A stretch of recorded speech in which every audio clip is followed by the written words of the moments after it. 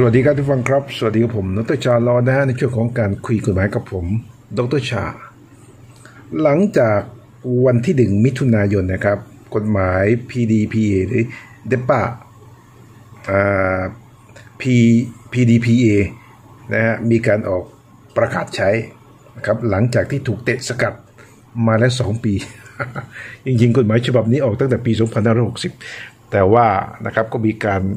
เลื่อน นะครับในการที่จะบังคับใช้กฎหมายเพราะว่ากฎหมายลำดับรองนั้น ยังร่างไม่เสร็จนะฮะเมื่อวันที่หนึ่งที่ผ่านมาท่านผู้ฟังครับเรื่องของกฎหมายป้ายแดงนะครับพรบคุ้มครองข้อมูลส่วนบุคคล พศ 2562 หรือที่เรียกว่ากฎหมาย PDPA นะครับ Personal Data Protection Act นะครับซึ่งกฎหมายฉบับนี้นะฮะเกิดขึ้นในยุคของ รัฐบาลคอสชนะครับเพิ่งซึ่งผ่านสนชเมื่อปี 2558 และก็ถูกดองไว้ 2 ปีและนะจากเดิมจะมีการประกาศใช้เมื่อปลายปีพศ 2562 แต่ว่ากฎหมายลูกนะฮะมันยังไม่แล้วเสร็จ พอยังไม่แล้วเสร็จนะครับก็ไม่มีความพร้อมทั้งภาครัฐและก็ภาคเอกชน ก็เลยมีการชะลอกฎหมายไว้ ทีนี้ท่านผู้ฟังครับพอกฎหมายเนี่ยมันยังไม่ออกใช้มันก็มีผลกระทบต่อทุกภาคส่วน เพราะว่าด้วยกฎหมายฉบับนี้เนี่ยมันมีมากถึง 96 มาตรา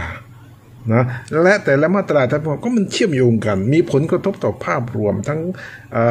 คนที่ทำธุรกิจนะซึ่งมีผลกระทบการใช้ข้อมูลของบุคคล และข้อมูลของบุคคลคืออะไรท่านผู้ฟัง คือแต่เดิมนั้นท่านผู้ฟังครับเรื่องของข้อมูล Data Privacy ทั้งหลายเนี่ยประชาชนนี่จะหรือผู้บริโภคเองเนี่ยก็จะไม่ค่อย คือจะจะไม่ค่อยสนใจ เพราะการไปสมัครงานกรอกที่อยู่ส่งบัตรประชาชนหมายเลขโทรศัพท์ไปแล้ว และตัวเองถูกปฏิเสธเพราะปฏิบัติเสธปั๊บแล้วก็ไม่ได้ติดตามไม่ได้แจ้งทำลายนะฮะก็เป็นเรื่องของข้อมูลของประชาชนนะฮะผู้บริโภคก็ไปอยู่ในมือของอทางด้านของเอกชน ทีนี้ก็มีการละเมิดสิทธิโดยการนำข้อมูลเหล่านั้นนะไปใช้ หาประโยชน์ครับไปขายข้อมูลมากท่านจำได้ไหมฮะ หรือบางคนที่ถูกละเมิดสิทธิ์โทรศัพท์เข้ามาขายประกัน ขายนู่นขายนี่นะฮะบางทีเราก็ถามว่าได้ข้อมูลได้หมายเลขโทรศัพท์มาจากไหน พวกเธอเหล่านั้นก็ตัดสายทิ้ง ในกรณีที่ถูกปฏิเสธเนี่ยคือข้อมูลเหล่านี้ท่านผู้ฟังครับเมื่อไม่มีกฎหมายเข้ามากำกับหรือควบคุมเรื่องของพฤติกรรมการใช้ ก็ จะทำให้ผู้ประกอบการเหล่านี้อาศัยช่องว่างทางกฎหมายนั้นละเมิดต่อสิทธินะครับต่อสิทธิของทางด้านของผู้บริโภค ดังนั้นผู้ฟังครับนัยยะสำคัญที่มีการออกกฎหมายฉบับนี้ออกมา ถือว่าเป็นมาตรฐานที่มีการคุ้มครองระดับโลก ที่หลายประเทศนะครับมีการประกาศใช้ไปแล้ว เพราะว่าเป็นผลกระทบจากเรื่องของความก้าวหน้า ทางเทคโนโลยีทาง AI ทางอินเทอร์เน็ตที่มีความเร็วสูง และการเข้าถึงสื่อโซเชียลมีเดียและก็มีการทำเรื่องของธุรกรรมแพลตฟอร์มดิจิตอลกลายเป็นวิถีของผู้คนในโลกปัจจุบัน ดังนั้นในทางกลับกันท่านผู้ฟังครับ ก็จะมีเรื่องของผู้ที่ละเมิดสิทธิหรือผู้ประกอบการบางคน ก็นำฐานข้อมูลเหล่านั้นไปแสวงหาประโยชน์ทางการค้า เช่นเข้าไปในมือถือเพื่อขายสินค้าหรือกระทำการ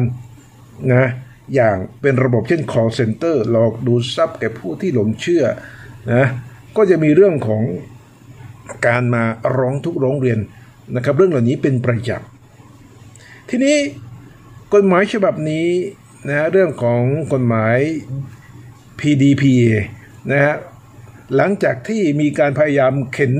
ให้ออกมาใช้ท่ามกลางไม่พร้อมของหน่วยงานหลายส่วนไม่ว่าจะเป็นภาครัฐและก็ภาคเอกชน แม้แต่คณะกรรมการคุ้มครองข้อมูลส่วนบุคคลซึ่งนะเพิ่งมีการแต่งตั้งเมื่อกลางเดือนมกราคมที่ผ่านมา ก็ยังทุลักทุเลที่จะออกกฎหมายโลกเพราะว่าด้วยความเกรงอกเกรงใจ ผู้ประกอบการที่มีอิทธิพลหรือผู้ทรงอิทธิพล